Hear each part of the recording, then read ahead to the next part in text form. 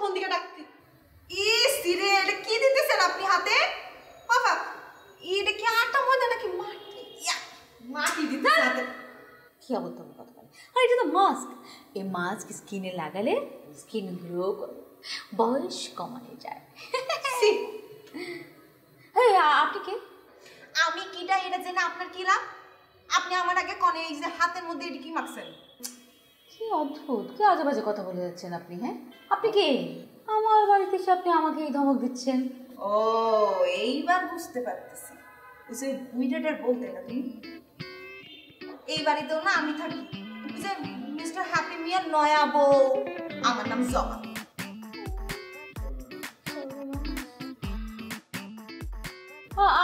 আপনি এখানে কি চান? এই আপনার জামাই আছে না? যান যান যান সরি এই বাড়িতে জামাই নামে আমি কাউকে চিনি না এই বাড়িতে জামাই নামে কেউ থাকে না। এটা কি বলেন? C C C C. আপনি আপনার নিজের জামাইরে জানেন না? অদ্ভুত। আপনি একটু পাগল দেখে। মুখে যা আসছে তাই বলে যাচ্ছেন আপনি আমরা ও এইবার বুঝতে পারছি।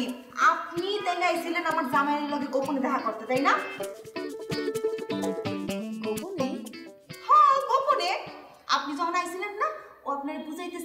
আমি একটা পাগল বেডি সব কিছু শুনে ফেলেছি আড়ালে বইয়া সব শুনছি আমি।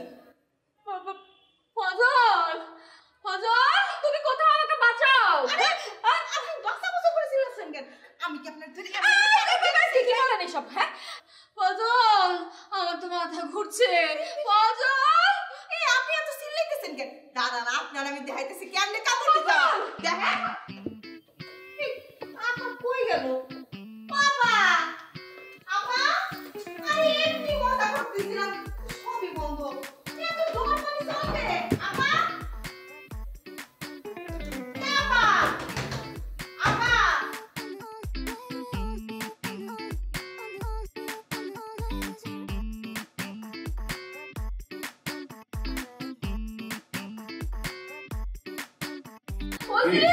কি? কি?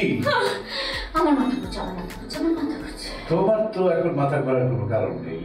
এই মাথা ঘোরার কোনো কারণ থাকে? সময় সময় থাকে? হ্যাঁ? আচ্ছা তুমি কি নিজের বয়সটার দিকে একটু তাকাবে? মেকআপ দিয়ে কি সব কিছু ঢেকে রাখা যায়?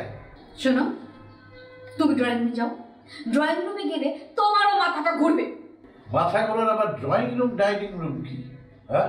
আরে কি আশ্চর্য ড্রয়িং রুমে হ্যাপি সাহেবের ওই পাগল বউটা বসে আছে তোমার জন্য। ও।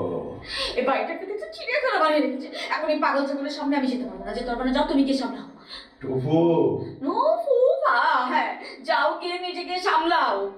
মনে হচ্ছে এই আমার এই বাড়ির থেকে পালানো ছাড়া আমার কোনো উপায় নেই।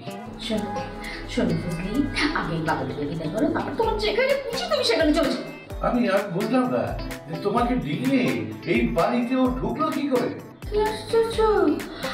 আমি ওই গ্রাম্য পাগল বউটার সাথে মারামারি করব নাকি হ্যাঁ? ঠিক আছে কলেজের মতো না হয় আমার অনেক কিছু নাই। তারপরে ওই মেয়েটা তোমাকে ধাক্কা দিয়ে ঢুকে গেল? এমন ভাবে তেলে আসছিল? দরজা না ছেড়ে কোনো উপায় ছিল? হ্যাঁ? কি? এত বড় সাহস? আমার বোর দিকে তেরে আসে। আচ্ছা এই শোনো কেমন করে তেরে এসেছিল একটু দেখাও তো। প্রথমে এরকম তারপরে এই এইভাবে। কেমন করে দরজাটা